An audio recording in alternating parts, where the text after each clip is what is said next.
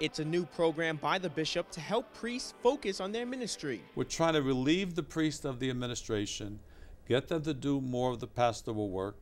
So that's basically the aim of, I think, for mm-hmm. the future.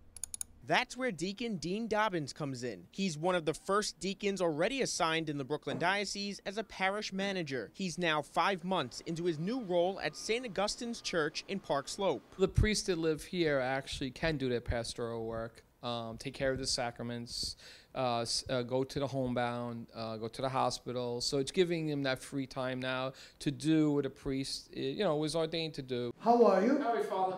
Good. Father Agnello Pinto is one of those priests. He says having the deacon around gives him a lighter workload. So far, Deacon Dean and myself, we are working together, and he has been an excellent help. Deacon Dean is a retired NYPD detective who also has a business background. He's a busy man. He's continuing as deacon at Forest Hills Our Lady of Mercy Parish while tackling the new administrative assignment at St. Augustine's. God called me to St. Augustine's for a reason.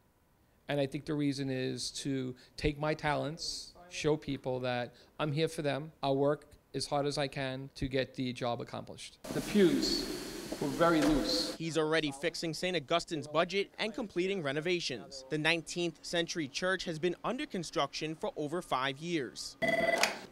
St. Augustine's, may I help you? Employees like Vanessa Pena say parishioners are blessed to have Deacon Dean. They're excited to see these new things happening and the improvements and excited to see their church changing for the better. This is going to be a church where like more people would want to come because of all the work that's getting done. The deacon says the next thing on his to-do list is have the scaffolding down by Christmas. In Park Slope, Tim Harfmann, Currents News.